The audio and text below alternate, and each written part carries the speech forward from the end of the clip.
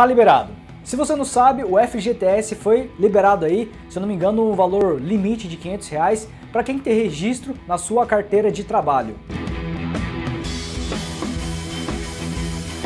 E esses dias eu acabei vendo muitas pessoas aí falando sobre o saque do FGTS, eu vou lá pegar meu FGTS, vamos ver se eu tenho o direito para o FGTS. Bom, na minha opinião foi uma forma muito boa de ter liberado porque isso vai fazer com que gire o dinheiro aqui no nosso país. A economia vai ficar um pouco mais dinâmica. Mas com a liberação do FGTS, será que realmente foi bom para algumas pessoas? Será que se realmente elas irão investir bem esse dinheiro? Muitas delas vão gastar e vão acabar ficando sem nada. Mas a maioria delas não sabe o que fazer com o FGTS. Então nesse vídeo estarei te ajudando e darei quatro dicas do que você pode fazer com o seu FGTS. Bom, primeira coisa é você verificar a disponibilidade do seu FGTS.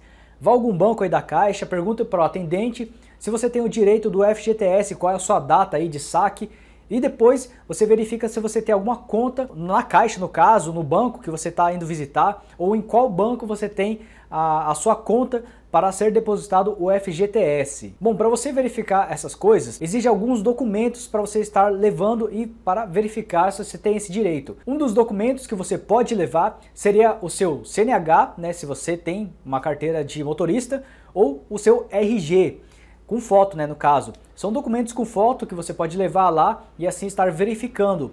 O outro documento que você tem que levar lá na hora da verificação seria a sua carteira de trabalho, porque lá dentro da carteira de trabalho tem o seu PIS, e esse PIS é consultado para verificação do seu direito. Bom, depois de você ter verificado o seu direito de FGTS, então tem três formas que você pode sacar o seu FGTS. A primeira forma, se você tem alguma conta, seja ela poupança, será depositado nessa conta. A segunda forma, se você tem o cartão cidadão, você também pode sacar com esse cartão. E a terceira forma é você ir até uma lotérica para verificação do seu direito. Seguindo as coisas que eu falei anteriormente, você verificando a data de saque, você verificando o seu direito de FGTS, você vai até uma lotérica, apresenta seu, sua carteira de trabalho, seu PIS no caso, e também um documento com foto, seja a CNH ou o seu RG. A segunda dica do que, que eu faria com o meu FGTS é verificar se eu tenho alguma conta, alguma dívida feita e que está gerando juros então eu iria lá, se por exemplo, se eu tivesse num banco uma dívida,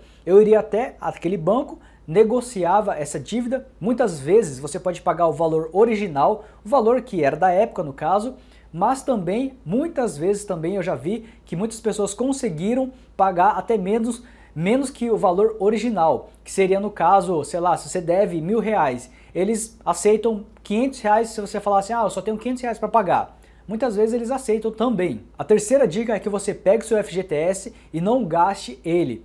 Guarde ele, não gaste com coisas desnecessárias que você não precisa, porque se você é, tem um dinheiro na mão, não adianta nada você pegar e torrar ele, que você vai ficar na mesma, você vai ter acabado ficando com nada, né? Então, melhor você não gastar esse dinheiro e gastar com coisas que você precisa realmente pagando uma dívida ou até mesmo investindo ele. A quarta dica é você investir. Você sabia que a melhor forma de você aumentar o seu patrimônio seria investindo? Eu não estou dizendo aqui para você pegar o seu dinheiro, colocar numa corretora de ações aí e deixar ele rendendo, mas existe qualquer outro tipo de investimento, seja ele para aumentar mais o seu patrimônio, ou seja, colocar dinheiro no seu bolso. Então eu estarei falando aqui o que, que eu faria para investir esse dinheiro do FGTS eu pegaria esse dinheiro e praticamente investiria num curso, num treinamento no qual eu queria trabalhar. Se for, por exemplo, trabalhar com marketing de afiliados, que é no caso esse canal aqui que eu ensino para vocês, eu compraria um treinamento para poder aprender passo a passo de como se tornar um afiliado e assim ganhar dinheiro pela internet. Alguns dias atrás uma pessoa perguntou para mim que, ah, Diogo, eu gostaria de pagar um pouco menos no seu treinamento, apesar de que o meu treinamento não custa tão caro assim não, custa 97 reais e em comparação aos outros treinamentos por aí, está custando de 300 reais para cima. Mas entendendo um pouco a questão aí da economia, da, da pessoa que não consegue controlar o seu dinheiro, né, que quer investir bem o seu FGTS, eu vou baixar o valor do meu treinamento.